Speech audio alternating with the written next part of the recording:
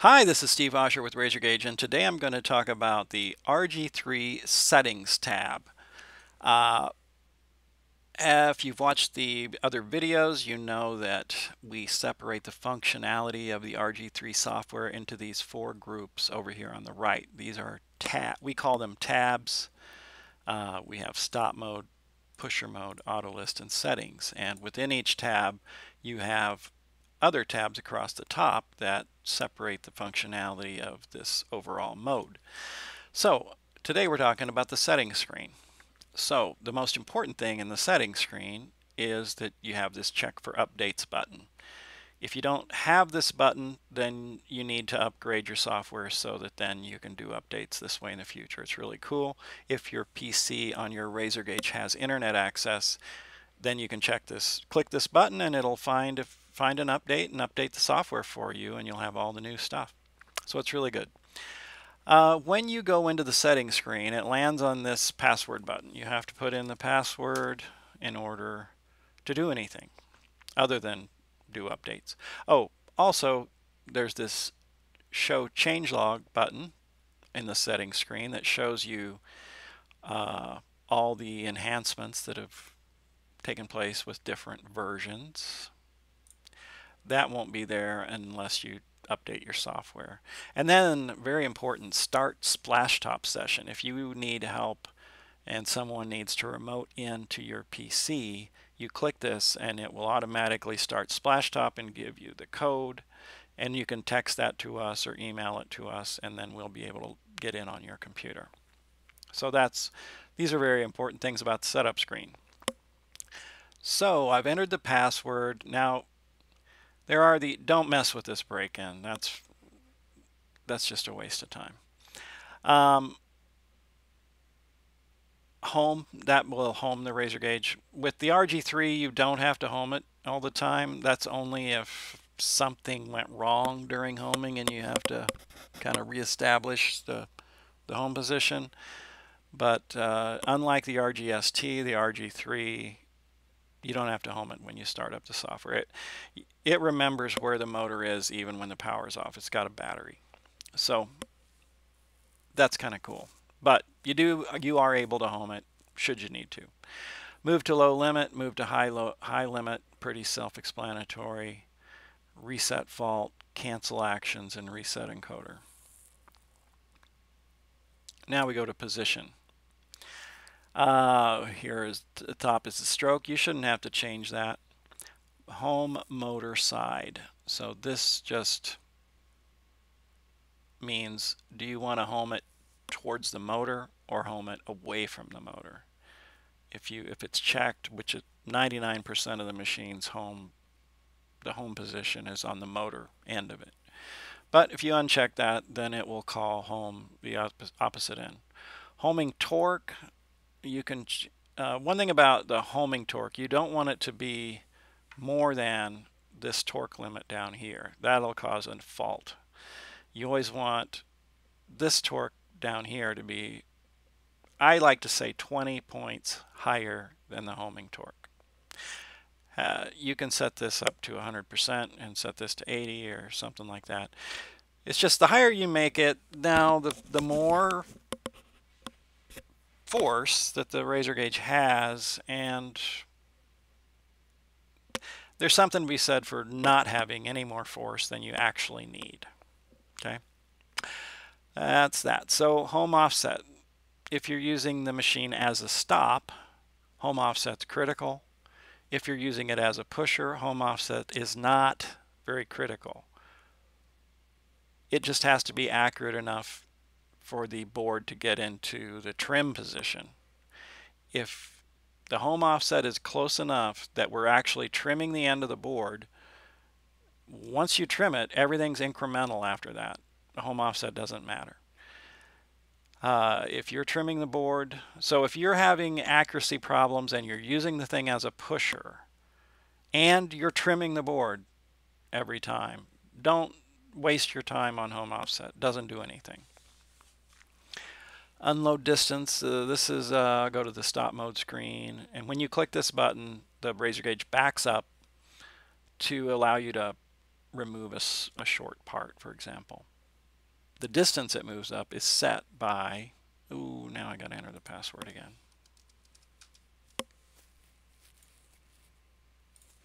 It's set by this unload distance. Load offset.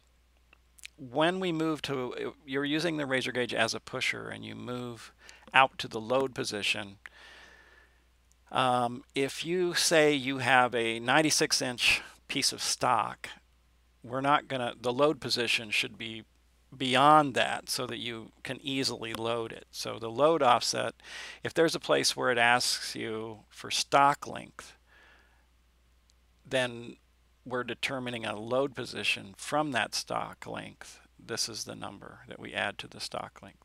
This is the kerf, that's the thickness of the blade.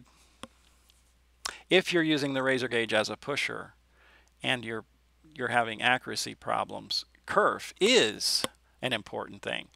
But if if some if short parts are accurate and long parts are not accurate, or if short parts are inaccurate by a different amount than long parts, kerf is not going to fix the problem.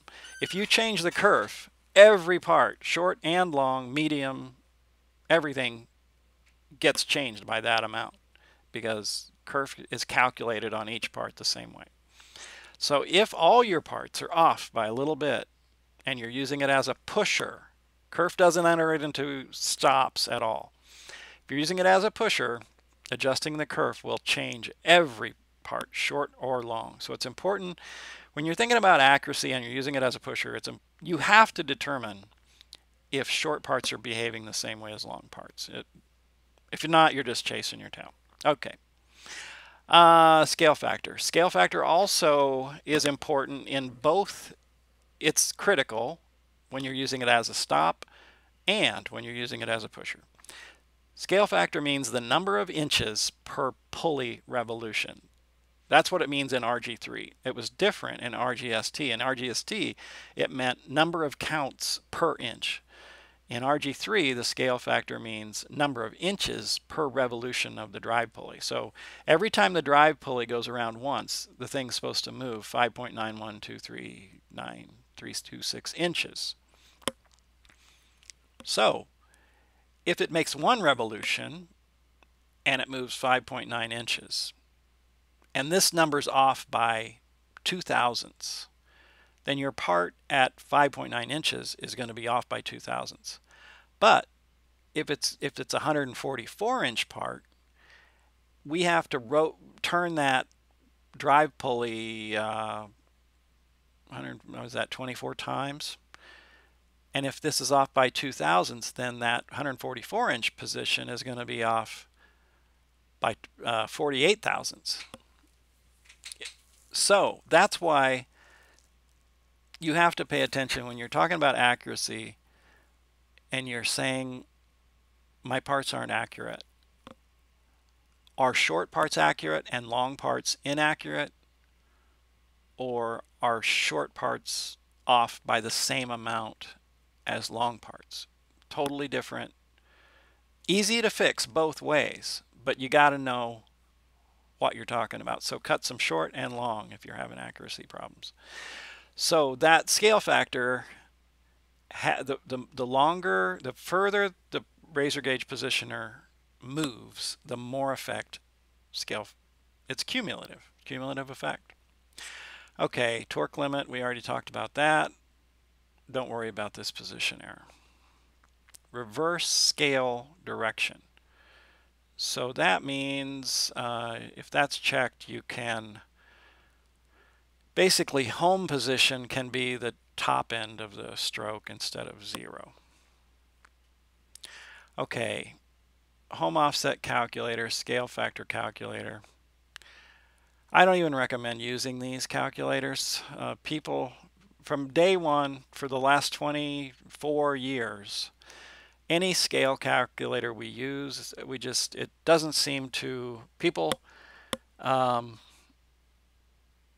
you make a mistake in this process trying to follow these instructions and it screws everything up. Um, So if you need to calibrate, just move move it move the positioner to the low limit and cut apart. If you're at the low limit and you can cut apart at the low limit, measure it and that's the home offset. And then um, as far as scale, send us an email with your uh, the, the, cut a long part or a few. It's never good to base anything on just one sample. So cut several short parts just to uh, set the offset, then cut several long parts, measure them all, send us the dimensions, we'll tell you what the scale should be. Um, you can use this, just if you do, follow the directions very carefully. Uh, something about it, something about every scale factor calculator we've ever done uh, invites mistakes. So that's what I'll say about that. Okay, we're done with this page. Motion. These are easy. These are the speeds for the different kinds of moves. This is just your basic move, velocity, accel, decel. First move, load moves, unload moves, unload return, scan start, scan board. Each one of these you can set a different speed. When you're moving, when you click the high limit button or the low limit button, you can set a speed for that. So kind of cool. Uh, I.O., you can change the I.O. option of your software. If you don't have the wiring to back all this up, changing it doesn't, is not going to work. But if you, where it comes in handy is if you have a tool safe, that's what BMI stands for Basic Machine Interface. It's say you've got a tool safe sensor you're running along, the tool safe is working great.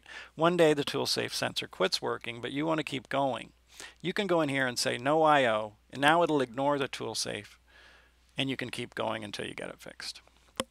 Inkjet printer, uh, these are settings for the inkjet printer, where the, the print head offset, the label offset, inches per character, which direction you want it to print, uh, whether the image gets inverted, inverted upside down, um, then the encoder divider, which spreads out the letters or tightens them up, and then the inter-character spaces, which is the number, the amount of space in between the characters. So you can control. With the inkjet printer, you can't control the height. That's fixed, but you can control the way it, the aspect ratio, I guess, of the characters. Most people use the 4500 ink. Um, 4700 is if you're printing on melamine or plastic or aluminum where you you want the a higher amount of solvent in the ink so that it evaporates really fast and dries fast.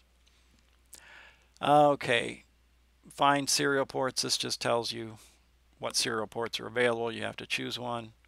Test connection. You test uh, whether we're talking to the printer. You can click the test tab and do a purge command uh, you can check the cartridge to see if it's a valid cartridge for one thing.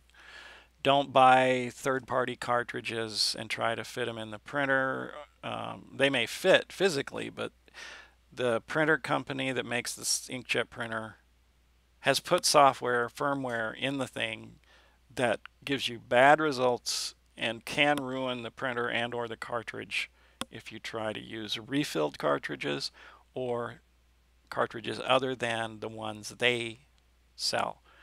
So you don't save any money trying to use. Now we don't sell the cartridges, so this is not self-serving. It's just other than the fact that we have to deal with the problems when that happens. Razor Ray, how many Razor Rays you got? One or two? Is it is Razor Ray enabled? The bin map. Here are the bins on one Razor Ray. You can uh, number them as you see fit if you click number the bins, and you can just go through and you can number them however you want. Um, Razor Ray test, bin queue, you can see what bin numbers are queued up. I don't I haven't I don't have Razor Ray hooked up to this, so I'm not going to get any results. Uh, Razor Ray 1, you can define the serial port. Razor Ray 2, you can define the serial port. You can test the serial port connection and save changes. Remote serial, this is if you have some third-party software that you want to control the RazorGage with. Um, you can enable remote serial, set up serial port, and so then this other software can talk to the RazorGage software through this serial connection and make the RazorGage move and things like that. That way you can use somebody else's software instead of ours. This is secondary operations. Uh, if you have a secondary operation, you can set the offset. Here's how you can see the faults, the history, and then the versions. All right, we've gone through the entire setup screen, I believe. Remember these three, check for updates, show, uh, well, mainly start Splashtop session and check for updates. Those are important. Uh, I hope what I said about these values made sense. Um, I have a PDF that says all that stuff that I said about accuracy and settings. If you want, we can. It's on our website, and I can send it to you too, as well. All right. I think that covers setup screen. Thanks a lot for watching. I hope this was helpful. Have a great day.